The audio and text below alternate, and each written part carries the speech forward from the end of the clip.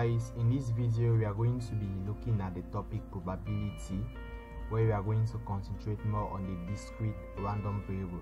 So we are going to be solving a further maths um, paper 3 question that's specifically June 2018 alright so the question is displayed to you. It reads a random variable y has probability function p defined by p of y equal to you have y squared on k for y equal to 1 2 and 3 y minus 7 all squared on k for y equals to 4 5 and 6 and 0 otherwise. Find roman 1 the value of the constant k.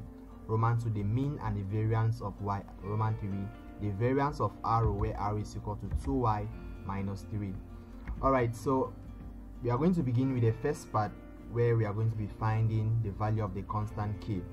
Now we are, we are told that um, our random variable is um, that's they, they, they gave us a probability um, function of my random variable. And clearly we can see that it is a discrete random variable.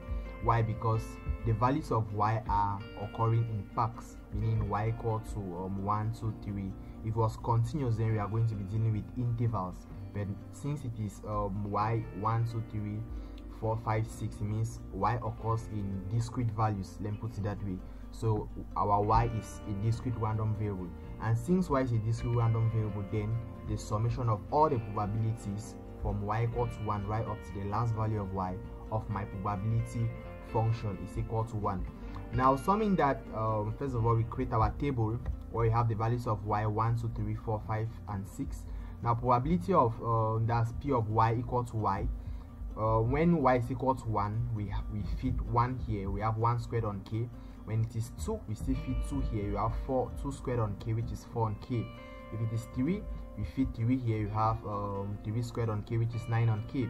Now when y is 4 you go to the next function. So you have 4 minus 7 which is negative 3 all squared which is 9 all divided by k.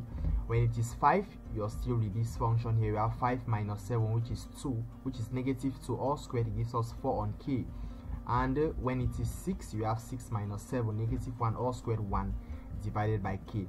Now we need to sum the probability of p of y equal to y and we equate to 1 because our y is a discrete random variable. So um, the summation of that equals 1 means we have 1 on k plus 4 on k plus 9 on k plus 9 on k plus 4 on k plus 1 on k equal to 1 since they have the same common denominator we just sum the numerator. Summing that we get 28 then divided by their common denominator which is k equal to 1 so we can cross multiply and we get the value of k to be 28 now roman 2 is asking us to get the mean and the variance of our random variable y. How do we get the mean of a random variable? E of y or mu is equal to the summation from the first value of y to the last value of y of y times p of y equal to y so what we are going to do is that we are going to take the first value of y we multiply it with its probability plus the second value of y we multiply it with its probability and so on. So doing that that's taking 1 times 1 on k plus 2 times 4 on k plus 3 times 9 on k plus 4 times 9 on k plus 5 times 4 on k plus 6 times 1 on k. That gives us a mean. Where we have the value of k as 28 if you fit and substitute correctly you're going to get your mean to be 7 divided by 2 now the second part of that very roman 2 we now need to find the variance and this is how we find the variance. E of y squared minus e of y all squared where e of y is the mean and e of y is is, is also we can also term it mu. All right so e of y all squared means that um, we are just summing the squares of the the values of y times the probability for that value. Then e of y all that squared is simply taking the mean squared. All right so we get we have to find the sum from the first value of y to the last value of y of y of y squared times the various probabilities. And how do we find it? We square the first value of y you multiply by its probability.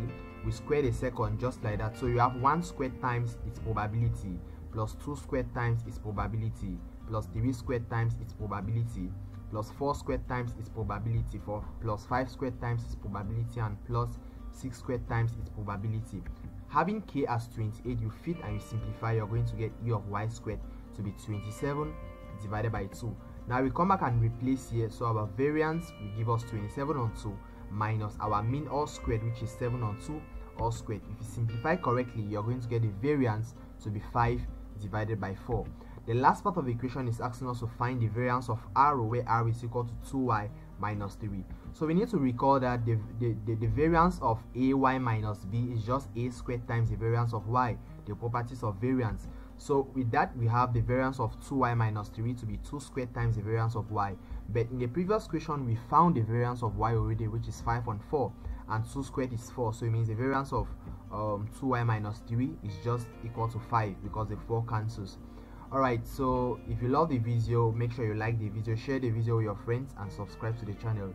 Thanks for watching and see you in the next video